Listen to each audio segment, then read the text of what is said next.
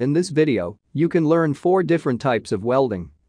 Welding is a fabrication process that uses high temperatures to melt and fuse parts together. However, it should be noted that pressure can also be used to aid the process or be used exclusively to produce a weld. The process of welding doesn't merely bond the two pieces together, as in brazing and soldering, instead, it causes the metallic structures of the two pieces to join together and become one through the use of extreme heat and sometimes the addition of other metals or gases. Welding usually also involves the use of something called a filler material or a consumable. This, as the name suggests, is used to provide a filler or pool of molten material that helps facilitate the formation of a strong link between the base metals. There are many types of welding processes, but the four most common welding processes are Number 1. MIG welding. Number 2. TIG welding. Number 3. Stick welding. Number 4. Flux cored arc welding. Some of the reasons they're so dominant industrial demands. Affordability for D craftsmen. With TIG welding, very high quality is key.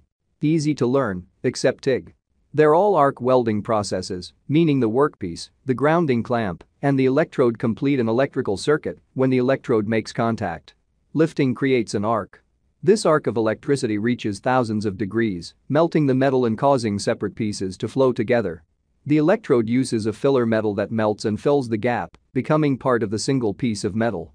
Thousands of degrees of surface heat generate chemical reactions with air and substances like oil or rust. Oxygen and nitrogen cause brittleness, rusting, porosity, and possible failure. Each process shields the molten weld puddle from air and surface contaminants by flooding the arc region with inert gases, which don't react to other chemicals. Finished welds are much stronger, more consistent, and much cleaner without contacting the air while reaching fusion. Number 1. Gas metal arc welding, MIG welding.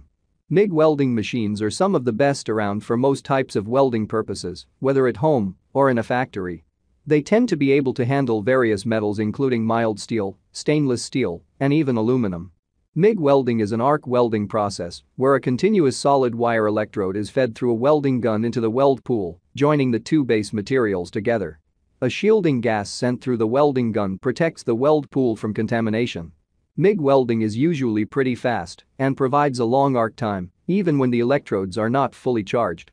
Thyristor-type MIG welding machines are generally best for fixing objects or mounting them on a suitable surface. These machines tend to be of good quality and will last a very long time. Such welding machines produce a small amount of spark, which makes them easy to control. These machines are best suited for welding solid core and flux materials. They can handle mild steel, low carbon steel, alloy steel, etc. Number 2. Gas tungsten arc welding, TIG welding. TIG is a difficult process to master. It takes more knowledge, dexterity, time, and experience than other processes, but pays off with better, more beautiful, and stronger welds. The main way TIG differs from other processes is its electrode.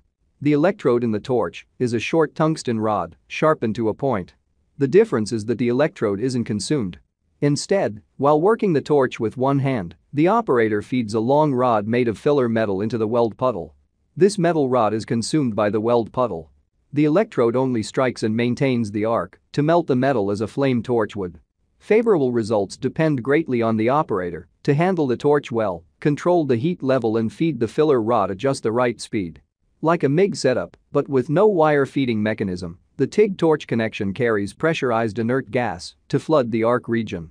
The usual shielding gas for TIG welding is argon. TIG welding is used in places where strong, and clean welds are needed.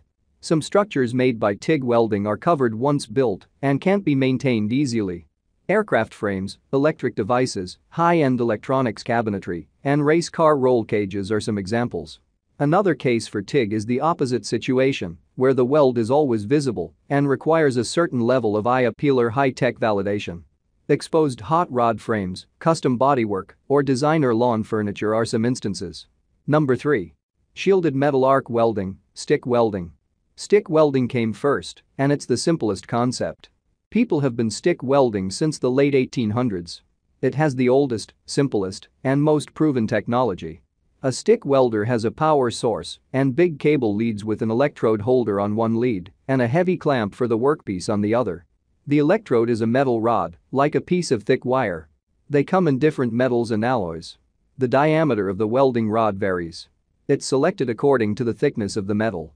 Welding rods are covered with a thick coating of a material called flux that burns in the arc, generating a gas to shield the welding puddle. As the metal cools, the flux forms a thin brittle crust called slag that must be chipped off and brushed away. If it can be welded at all, it's welded by stick. Stick arc is preferred when it's hard to reach the weld or there's rust, oil, and other contaminants at the weld joint. It works well on steel, cast iron, aluminum, stainless, and hard surfacing on farm equipment. Number 4. Flux cored arc welding. Flux core welding. Also known as gasless MIG welding, is a highly versatile process known for low cost, easy learning, and strong results. It's also used in manufacturing, but with shielding changes and bigger machines. Like how the stick process has an electrode coated in flux, the FCAW process uses a hollow wire filled with flux. FCAW feeds a spool of wire through the welding lead as MIG does. You can weld faster than stick welders because the only time you change the electrode is when the wire spool runs out. There are two flavors of flux core welding in main use. The S means self-shielded, and it's the most common flux core technique because it's inexpensive, simple, and effective in a breeze. Also known as dual shielded wire welding, the G means that an external shielding gas is used in addition to the standard flux core wire.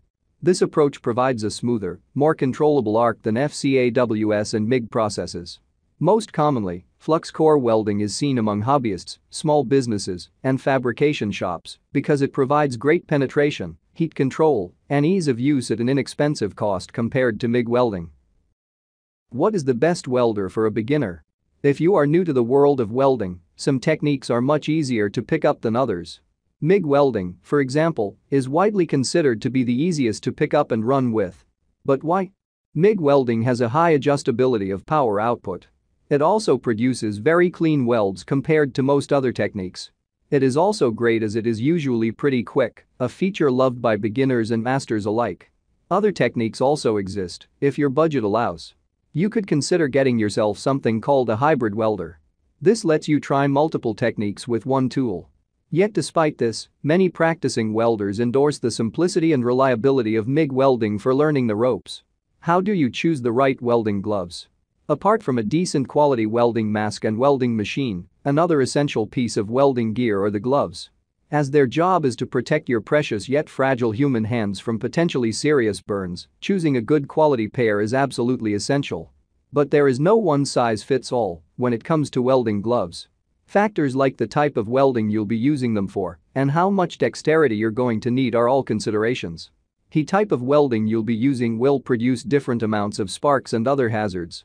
MIG welding, for example, tends to produce a lot of sparks that need to be shielded against and cleaned up afterward. Gloves also come in a variety of materials too. For most users, leather is the most preferred kind as it is durable, non-conductive, and is great at dissipating heat. But leather can be made from various types of animal skins. Some common examples include goatskin, this kind of leather offers unparalleled abrasion and tensile strength while remaining soft and supple. This is ideal for TIG welding, where you need the maximum amount of dexterity possible. Horsehide, horsehide is tough and durable, yet remains comfortable. While less popular, as leather gloves go, it is also great for TIG welding. Pigskin, pig leather is tough and performs very well in wet and oily work environments. This kind of leather is great for TIG, MIG, and stick welding, among others. Cowhide, cow leather is one of the most common kinds of leather. It is very durable and comfortable and is usually preferred for stick and MIG welding. Deerskin, a soft and flexible leather, the freedom of movement it provides makes it another great choice for TIG welding. Elkskin, elk leather tends to not harden as quickly as cowhide when exposed to heat. Elkskin is another great choice for MIG welding due to the high amount of heat it gives off. What is the strongest type of weld? To answer this question is not as simple as it may first appear. The best weld depends on the base material in question and its intended use. From TIG to plasma arc welding, each technique has its own unique advantages and disadvantages over the others. According to Cromweld, the strongest type of weld could be stick welding, if pure strength, that counts in the thickness of the material, that can be welded, then stick welding is the winner. As we said, the stick method is the only one capable of welding cast iron, additionally, it also works on dirty materials and under harsh weather conditions. But that doesn't necessarily mean stick welding is the best choice for all scenarios. MIG can be applied to a wider selection of metals of varying thickness, while TIG welding produces the highest quality welds, especially when it comes to thin metals. It also depends on the metal you wish to weld. For example, welding aluminum can be tricky as it is a fairly soft metal that can't cope with too much heat. For this reason, there are only two viable welding techniques that can be used with aluminum, MIG welding and TIG welding. Of these two techniques, TIG welding is widely considered to be the go-to technique for best results. Stainless steel welding, on the other hand, is different as it's a much beefier metal when compared to aluminum. For this reason, it can take a lot more punishment before compromising its strength. But, which welding technique provides the strongest weld depends on the thickness of the material. MIG welding is generally considered to be the best technique for most steel applications. When it comes to thicker steel sheets, many bow down before the superiority of stick and flux welding. If the steel is mild and stainless, TIG welding and MIG welding can be used without any real issue.